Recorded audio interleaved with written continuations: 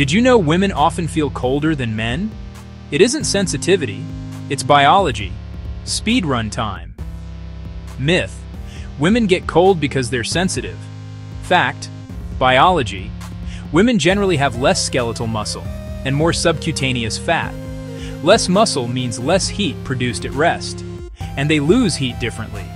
Men's greater muscle mass makes more internal heat. Studies show women keep a warmer core, but colder hands and colder feet because blood flow favors vital organs.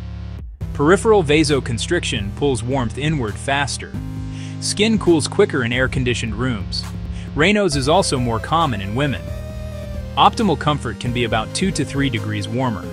Hormones matter too.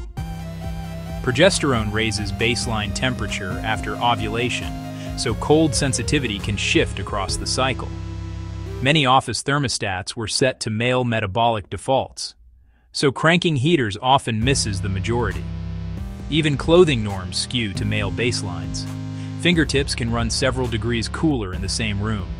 Fix the edges, warm hands, feet, and a hot drink. Bottom line? Not personal, physiological.